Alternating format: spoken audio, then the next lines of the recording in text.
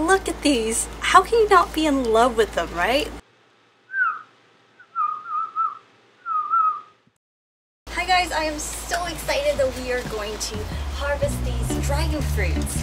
In one of the, the previous episodes, I showed you guys uh, dragon fruits from my mom's house, and these ones are in my garden. Um, they look like they are ready for harvest. It's definitely best to not let them be overripe because you know they can get too mushy.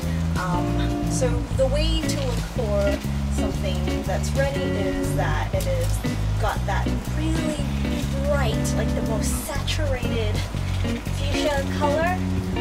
These ones are really nice and nice and plump. Let's harvest these and show you guys what they look like on the inside.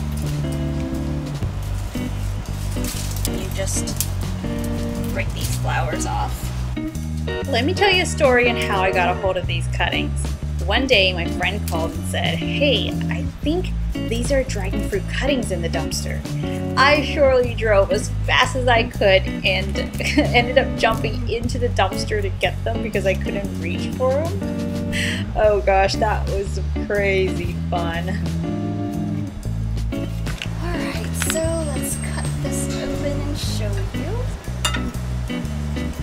All sorts of ways to do this.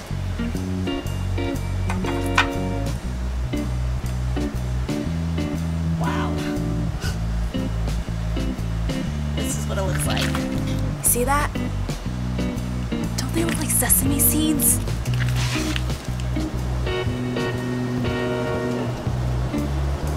Oh my god, the juice is oozing out.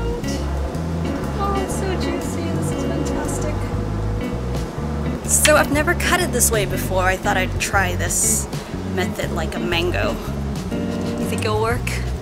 Oh my god. Oh. Oh. Oh. Oh, oh my god. Uh. Uh. Not quite.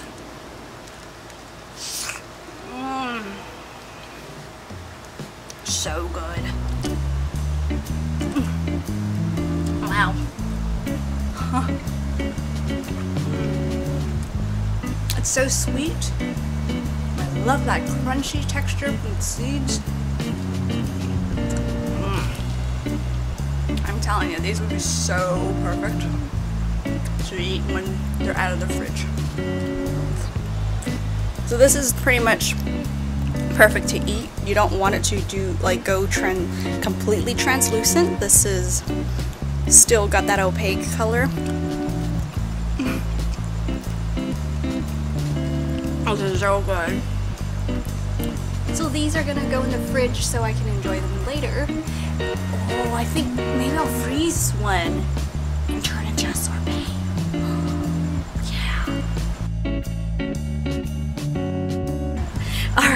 I'm getting so distracted. If you guys like the video, please give it a thumbs up and comment below.